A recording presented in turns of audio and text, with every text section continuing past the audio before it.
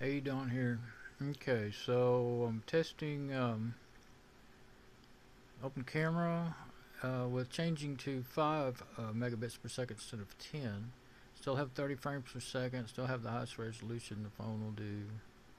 And uh, I noticed that uh, the uh, text on this in, o- in Total Command, uh, Krusader here was a lot more blurry than I'm used to using 10 megabits, so I don't know if this is going to work.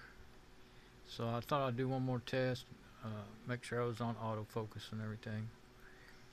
And uh, I think I'll go in a little closer on it and see what happens. This is the camera in the tripod, so I can't even move it to where I want to hit my keyboard just then. So, um,